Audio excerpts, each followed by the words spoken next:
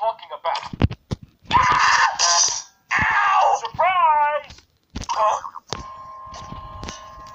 Wait, what? Stanley? What have you done?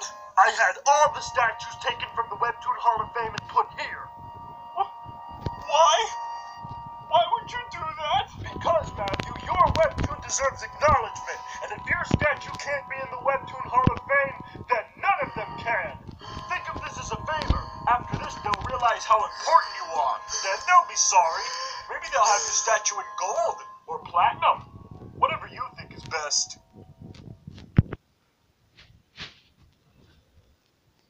Stanley? Can I tell you something, please? Uh, yeah, sure, go ahead, Matthew. What do you want to say to me?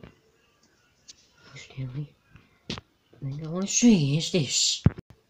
But what is it?